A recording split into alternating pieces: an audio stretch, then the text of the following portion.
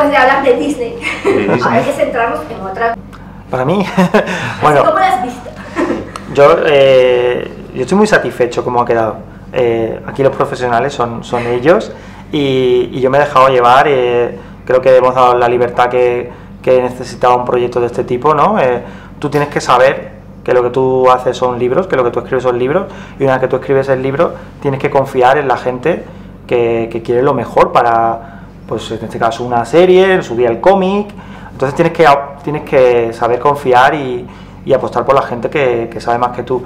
Y una vez que, que se han puesto, que Morena Films, eh, Disney, Tito, los actores, se han puesto con, con el proyecto, eh, creo que han acertado de pleno. Es decir, es una serie que no va a ser juvenil, es una serie pa para todos los públicos, una serie con contenido adulto, pero, pero que también pueden ver los jóvenes y, y creo que a los lectores, que es también la parte que a mí me, me corresponde, les va a encantar, les va a encantar porque la serie está muy bien, tiene mucha calidad, ellos te hablarán ahora más, más técnicamente de ciertas cosas, pero en lo que a mí respecta es, es un, es un proyectazo y, y, estoy muy, muy ilusionado y, y muy satisfecho. ¿Tú has quedado contentísimo?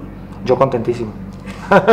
contentísimo. Y bueno, mi siguiente pregunta para la Pues el, el, mayor reto yo creo que ha sido sobre todo eh, conseguir verdad en, en, la historia. Es decir, la, eh, nosotros lo que queríamos era que, que, el proyecto tuviera muchísima verdad. Y entonces para, para conseguir esa verdad tienes que tener actores que te den esa verdad.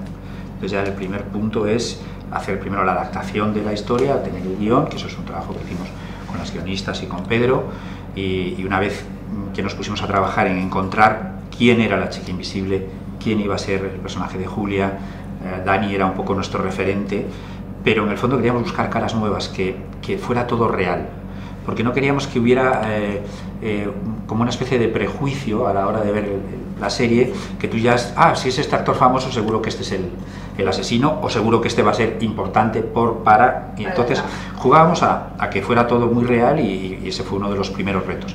Y luego conseguir que llevar la historia que estaba escrita de una forma neutra en la novela a un espacio concreto.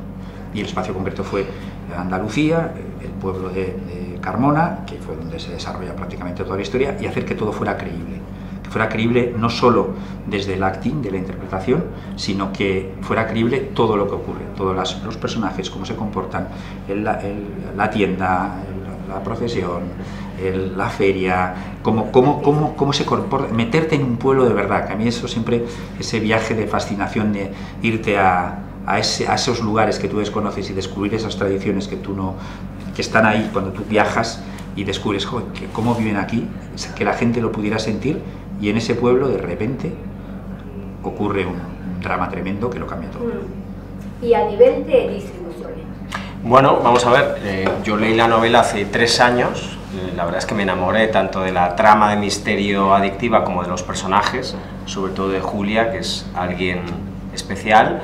A partir de ahí, pues eh, empezamos a hablar con, con Planeta y con, y con Paco y rápidamente hubo un entendimiento. Nosotros tenemos más de 20 años haciendo sobre todo cine, también hemos hecho series y documentales, y lo que queríamos era hacer una película de cuatro horas y media, ¿no?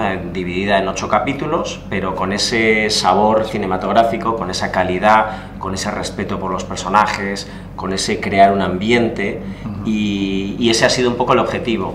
Disney desde el primer momento pues creyó en, en la historia, no solamente porque hubiera detrás una, un libro famoso con, con, muchísimos lectores por todas partes, sino porque estaban buscando además ellos un, una serie más adulta, ya dentro de la plataforma ellos tienen contenido adulto y, y, entonces coincidimos en esa visión y la verdad es que ha sido un lujo, no solamente contar con Paco y con Tito, sino el apoyo que hemos recibido de Disney en cuanto a libertad creativa y en cuanto a, bueno, pues confiar en nosotros.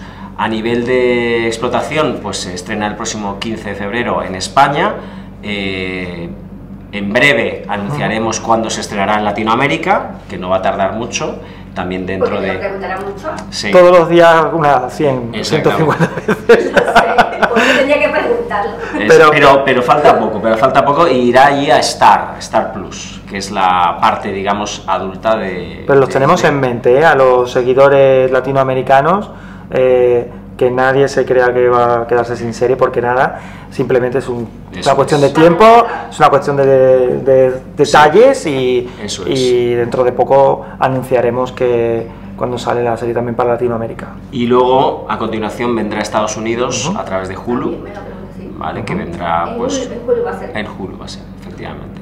Y luego, pues el resto del mundo, eh, hay una distribuidora que se llama Beta, que es la que está eh, haciendo las ventas dentro de Europa, ¿vale? De hecho, ahora en- nos vamos a Berlín, eh, precisamente, pues a hablar con todos los posibles compradores de la serie en Europa. Sí, sí, claro. Yo creo que una de las. Bueno, yo creo que casi todas las personas tienen un momento de soledad. O sea, el que no lo, el que no lo reconozca por miedo, por, por, por- por contexto. Y yo creo que yo en esta serie, fíjate, me, me- sentí muy identificado con el personaje de Miguel Ángel.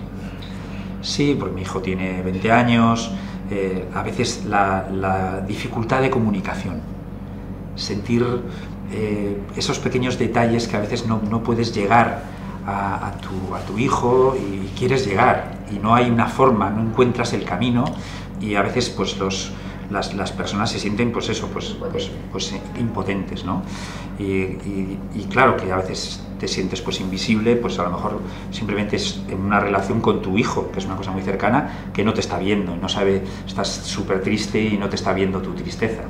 Sí, creo que dentro de los libros el concepto incomprendido, el concepto invisible, creo que son, que son dos palabras que para la gente de hoy en día, eh, pues te lo- solo tienes que leer las redes sociales ¿no? de, de los chicos, ¿no? lo que te cuentan.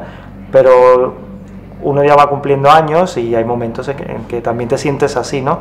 No es una cuestión solo de, de juventud o que es verdad que la incomprensión o la invisibilidad eh, en una época determinada en la que parece que nadie te entiende o parece que nadie te hace caso, pues se acusa más, ¿no? Pero es verdad que todos eh, en algún momento nos sentimos invisibles.